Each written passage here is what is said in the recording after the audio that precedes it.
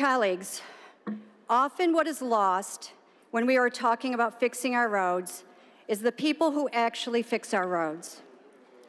Despite the inherent risk, they go to work each day, putting in long, hard hours to fix and maintain our transportation system.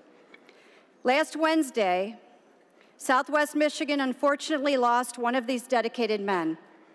Kevin White, a maintenance worker in the Michigan Department of Transportation's Coloma Garage, died from injuries sustained when a tire from a passing truck struck him while he was clearing large debris from the shoulder of I 94 in Berrien County.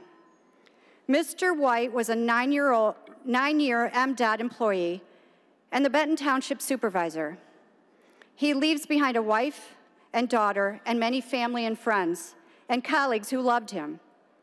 At 48, he was tragically taken from them far too soon. Kevin's loss is a sobering reminder of the dangers of his profession and of our responsibilities as drivers.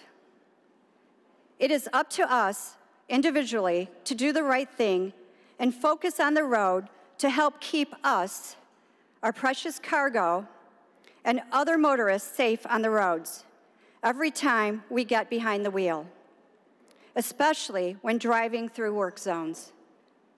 Mr. President, I ask that the Senate please observe a moment of silence in honor of Kevin White. Thank you. Without objection, Senator. Will all senators, guests, and staff please rise for a moment of silence?